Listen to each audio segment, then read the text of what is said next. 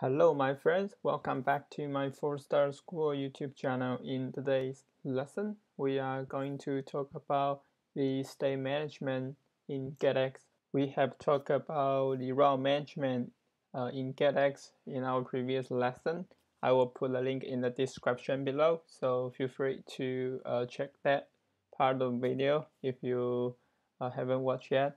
Also, uh, if you are new to my channel, Uh, feel free to reach out to my channel page and you will find a Flutter UI from scratch tutorial and a Flutter tutorial for beginners and also a Dart programming tutorial.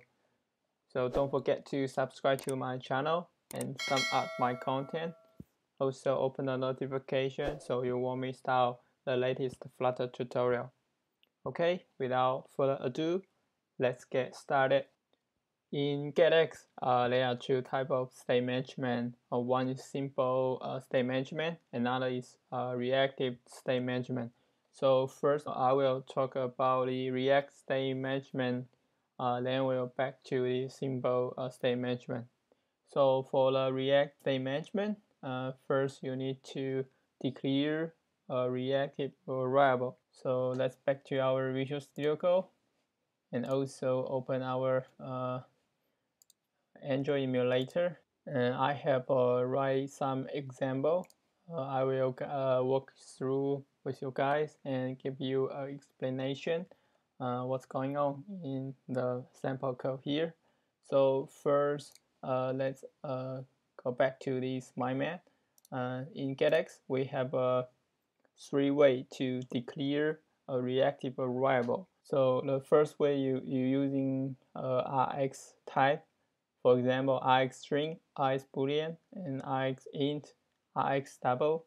So another is you using a generic type. Uh, you uh, you have this Rx, and you're using this uh, bracket. And the last one is you add the obx at the end of your uh, variable. You have an initial value. For example, here, uh, let's go back to our Visual Studio Code. So here is our uh, first approach to declare a getX variable. The reason we make this final because this one actually is a object. So we have uh, this object type and we can access to this variable using dot values here. These type are predefined by uh, getX, so you can just use uh, if you know what the uh, type uh, you're going to use so you can use uh, this way. And but I didn't recommend for this approach. So let's come our second approach. So let's open comment. So for the second approach uh, using this Rx uh, with this uh, bracket. So inside the bracket uh, you're going to have your generic type.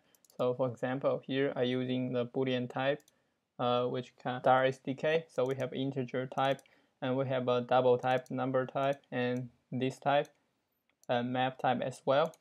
And what's more we can define our custom type. So for example here we have our user type. So the user just uh, our custom uh, defined class uh, with the uh, name attribute and the age attribute. So we also have this uh, con constructor uh, with those two name parameters. This name by default will be empty uh, the age by default will be zero. So back to this reactive state management dart and you see we define this uh, user uh, variable and we mark it as a final because uh, you declare this one. So you cannot change it uh, this object uh, address but you can change the value inside this object. And we have a default uh, value for this user. So I give it uh, my name and my age for this one. And because we have a default value so I can remove uh, those uh, as well. So it's uh, highly recommend you have a default value for those uh, reactive variable since we are using null safety flutter version right? So it's better to give a default value. For example, here I will have a default user and empty uh, map for this uh, my map and empty list for these items and we have a zero for the number false for the boolean so this is our second approach uh, to declare reactive variable and the last one uh, last one is uh, this approach so let's uh, comment it out. So the last approach is you just add this .obs at the end of your initial value and you make this a variable observable. So uh, when this value change and your UI will automatic update. And I'm going to give you an example how the UI will automatic update uh, when you change the value. So for here we're using this uh, count variable right and we mark it as observable and actually it will show on the screen. An initial value will be zero. So we scroll down, you see I declare a function uh, called increment. Uh, will get this uh, value uh, since it's an object. So we're going to access its uh, int value by using dot value, right? So this statement will equal to uh, count uh, value equals count value plus one, right? So uh, we're just using this shortcut. So we will increase this uh, count variable. And, and also we scroll down, you see I using uh, this one, uh, OBX. So what is OBX? Uh, back to the mind map. Uh, the OBX actually receive another function which take a widget as it is a return type and you have uh, your uh, observable variable inside the widget. So when you uh, variable change you will automatically uh, rebuild your uh, view right?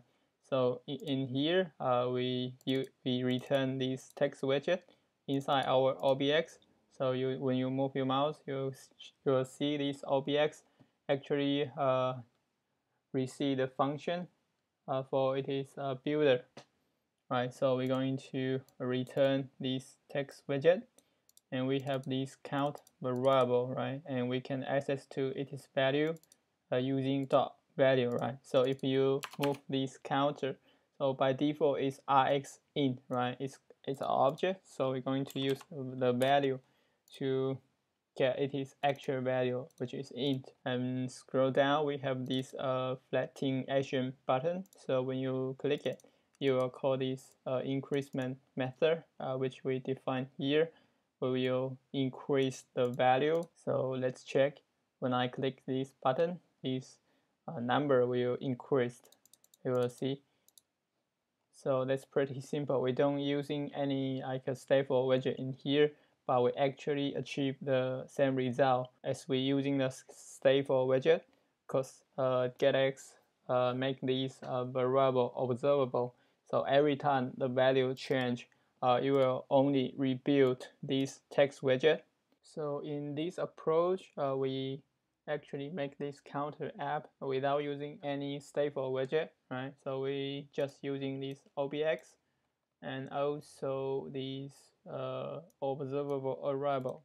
Uh, next, I'm going to show you how can we uh, update those uh, custom uh, class right? So back to Visual Studio Code. Here actually I define these user class right? I have this name and age. So for our reactive state mention.dar actually I declare here as well. So I will comment out this part uh, to make my name uh, turn to uppercase so there are two approach to update uh, custom class. So, so I'm going to show you the first approach. Okay.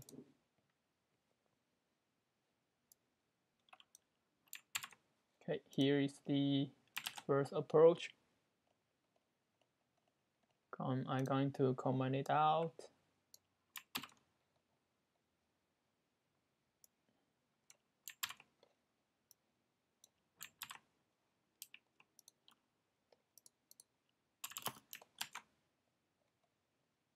and here you will see my name and my age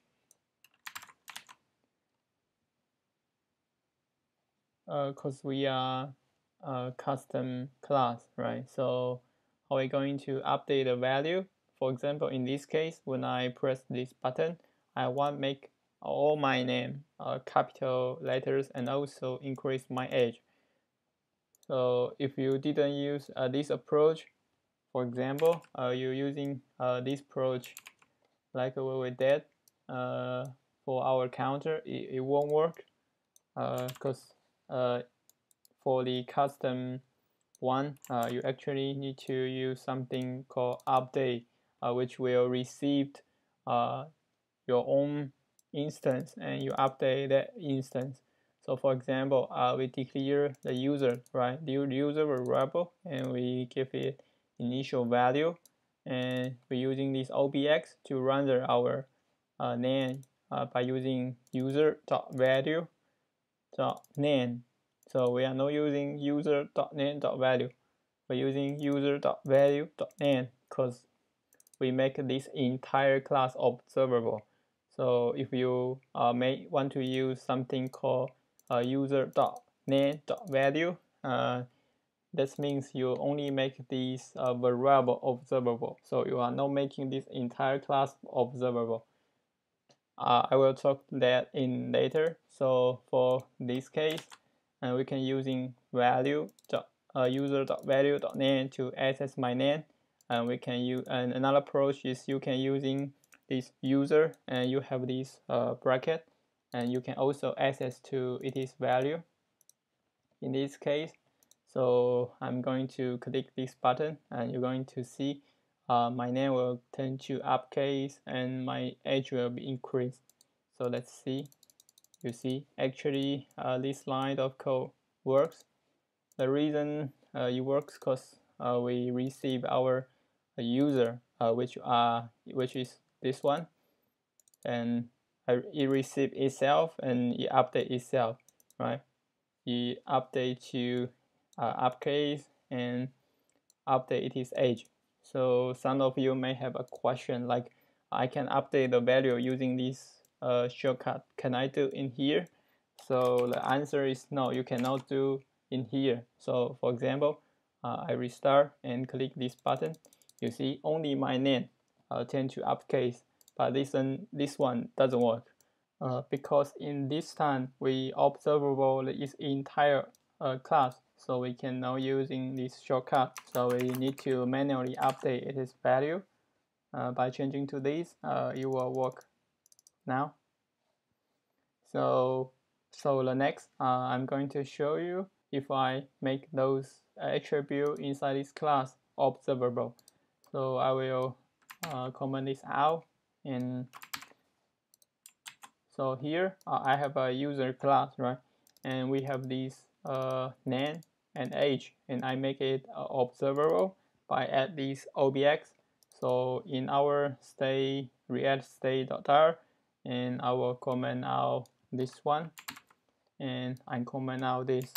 So this means I only um, observable the variable inside uh, this user class right? And so in this way we don't have this update method. So since we are not uh, observable this entire class and we're going to uncomment this out we only uh, watch our uh, it is value so you'll see here uh, we first have this uh, user and we're using .name to access its name and also uh, then we're using this dot value. So it's different than before. We, we were using user dot value dot and in this case, if you want to watch individual attribute, we're using user.name.value, right? So in this one, and we're going to scroll down. So here, and we're going to make a comment and comment out this one. So we're using user.name.value. Okay, so when I uh, press the button, uh, you will see uh, these uh, razor uh, tend to upcase and also this integer uh, will increase my age right and also we could use this shortcut because we observable on the individual uh, variable, right? We no observable uh, for this entire class, so we could using this approach. That's uh, for this uh, reactive uh, state management. So I hope you uh, now have a clear understand how to use and when to use it. So back to Visual Studio Code, and let's comment out this one. Uh, we're going to open uh, this one. So we make uh, this entire class observable again. So we comment out this. There are another approach to update the class right? So first we're going to change it back to uh, normal class and we observable the entire user class right so for here, uh, we declare a user class and make it observable. For update, we could using another approach. By using this approach, you're going to uh, pass the entire new object. So let's comment this out and comment out this. Okay, so let's save so by using this approach, when I click this button, you will see the name will turn to uppercase, but age will uh, turn to zero. Because by default, you see our age will be zero. So if you're using the second approach, uh, you're passing another uh, object. So let's see. When I click, you see, uh, actually, uh, my name can to uppercase, but the age will turn to zero and you won't increase.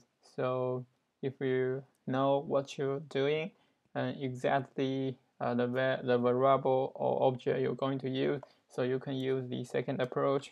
So otherwise, uh, I still recommend you using the first approach. So you can uh, using actual like a method or do some uh, your business logic in here. So this is another uh, stuff I want to mention. Okay, let's back to our mind map. Uh, you will see I write this usage. Uh, we have this OBX and also getX controller. So if you are want to using those two, uh, you must contain observable variable. Uh, seems like you have uh, these these three type of uh, variable inside those two. So if you want to using get builder, you don't need to have this observable uh, variable because uh, we are using this simple state management. Uh, this is another approach provided by GetX, so you can simple uh, management use state. And next I'm going to talk about this. So let's back to um, Visual Studio Code. And here I write those two uh, class.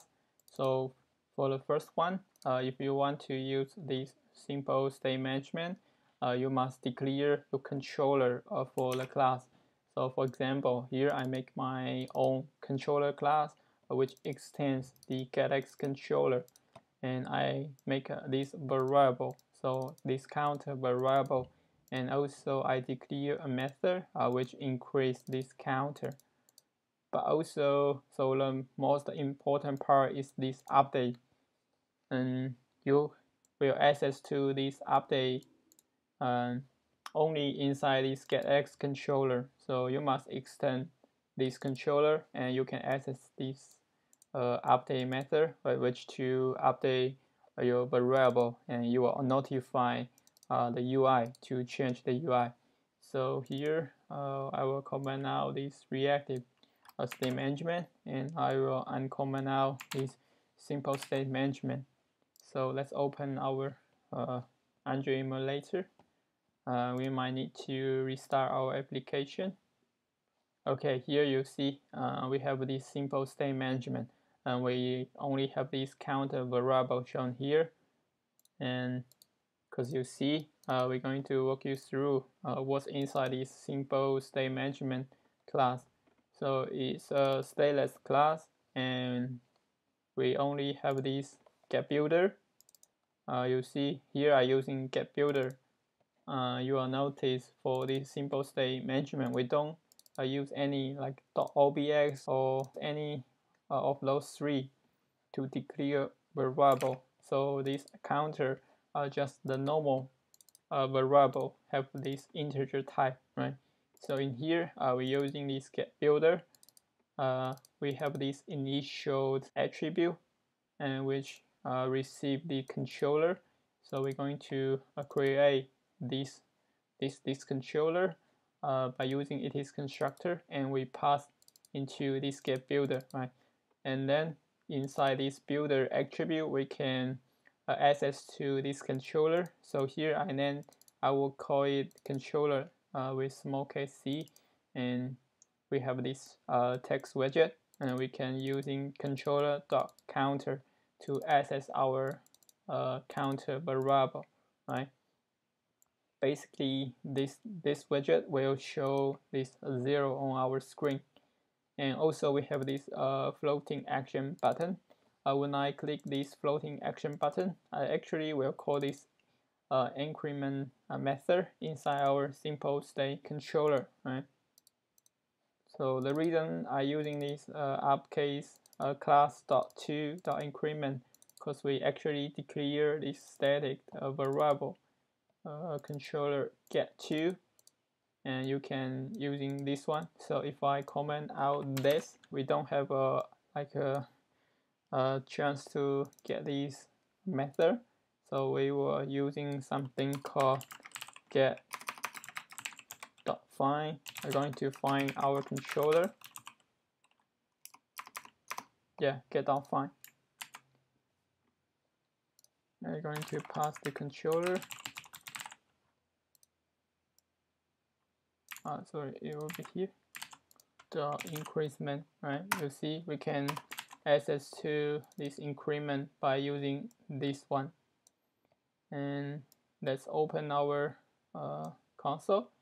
And you'll see first we have this material controller uh, which is this uh, get material app. Then we have our own controller because in this get builder we uh, create our controller. So we controller allow into the memory. So that means all those method or variable allow into the memory.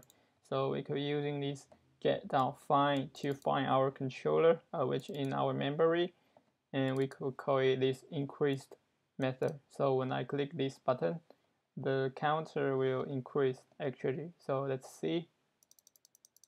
Right and since we have another approach so we could uh, comment uncomment this out.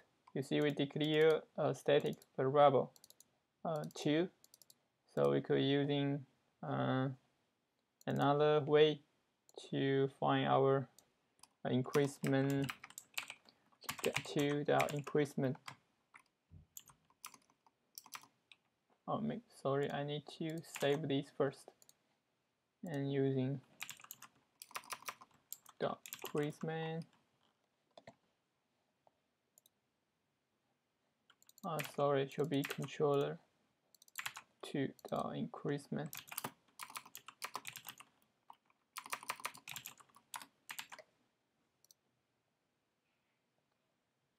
you will see when I press this hot reload because uh, we separate our view and controller actually uh, it's still A because the the number we store is inside this controller. So we must press this uh, restart to clear our state. So you start from zero okay? You see our controller have been clear and when I press this button uh, the number increased. Yeah and so that's two approach you can uh, use to call this function inside the controller. And that's the, uh, the approach you can use for this simple state management uh, for this uh, get builder. Okay so back to here. And also uh, in order to uh, give you the example what's the getx uh, this widget. So this one actually uh, I write something here. Uh, we have this uh, can we can access to the controller and we can access to its standard value. So here I declare another variable I make it observable. So I have a, mention here. If you want to using this getX, this uh, you must have a observable uh, variable inside those two. Let's see. My name John here. Uh, using this uh, controller.name value. So you see here. So uh, when you move your mouse, you also see we have a in initial uh, this attribute. So because we already initial our controller in this get builder, so we don't need to initial in here. So you are using the same controller from the memory. Okay, so I think uh, that's all for today's video, and we have a talk about this uh, simple state management and reactive state management in this getX and however there are more topics uh, related to the controller and also the dependence management so I will talk them in a later video so don't forget to subscribe to my channel and sum out my content and not open the notification so you won't miss out the latest Flutter tutorial and after we finish this entire getX series I, I will using this getX uh, package to create a Flutter app from the scratch. So I will teach you how to uh, separate your view, your controller, and your business logic, and make the complete the uh, application from scratch. Okay, thanks for watching. I will see you in next video.